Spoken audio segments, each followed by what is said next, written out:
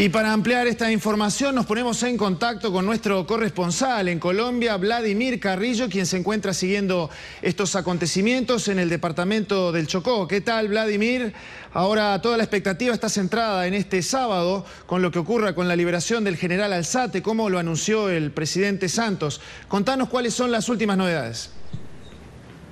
Raúl, un saludo para usted. Esta información la estamos eh, originando directamente desde las calles de Quibdó, la capital del departamento del Chocó en el Pacífico colombiano. Mire, después de ese anuncio hecho verbalmente en una reunión que sostenía Santos en Bogotá, pero luego confirmado por él mismo a través de su cuenta de Twitter, pues acá la gente en medio de la expectativa espera que por fin se dé la liberación del general y sus acompañantes. ¿Por qué?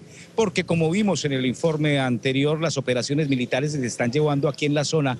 Lo único que ha traído para estas humildes comunidades es el no poder llegar al sitio donde cultivan sus alimentos y no pueden llegar tampoco al, al, río para eh, sacar el sustento diario. Entonces aquí lo que se espera luego del anuncio es que, que, que, que el militar sea liberado con sus acompañantes y que inmediatamente el gobierno de Juan Manuel Santos reanude los diálogos en La Habana. ¿Por qué?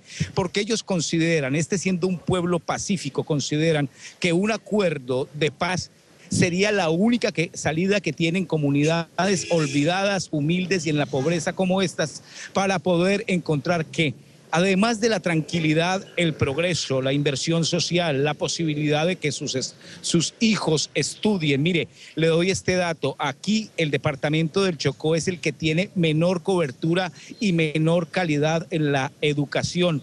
Esto, sabemos que la educación es la herramienta para el progreso. Estas comunidades, incluso desde ahí, desde la educación, pues ven cómo han sido olvidadas y encuentran entonces en el proceso de paz que se adelanta en La Habana esa esperanza para poder salir de su pobreza y porque este siendo una región muy rica en recursos naturales, pues ven cómo estos recursos pues están siendo eh, llevados por multinacionales que vienen hacia, a saquear y a dejarlos a ellos en su misma pobreza. Aquí esperanza y lógicamente una voluntad de paz inmensa es la que presentan estos 500 mil habitantes del departamento más pobre de Colombia, Raúl.